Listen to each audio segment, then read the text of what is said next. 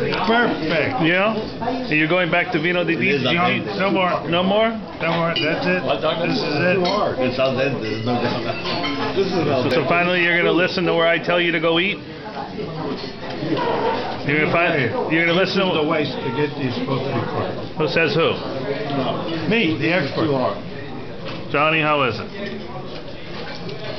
Douglas, can you come up for air? How is it? Excellent. Yeah? Is it al dente? No, this is al knife and fork. Is it al dente, Victor? No, it's knife and fork. Crudo? Crudo. Crudo. Ah, perfecto. eh? That's why he didn't send the pasta back last night. Huh. Because he thought it was okay. Oh, that was Got it. Huh. He likes like the school cafeteria pasta. You sent him, that's right. You sent him Seconds and thirds in school. You sent him down to Morrison's cafeteria. So, I think He's in, I always like the school he's in pasta. redneck heaven. Oh, no, I'm really proud of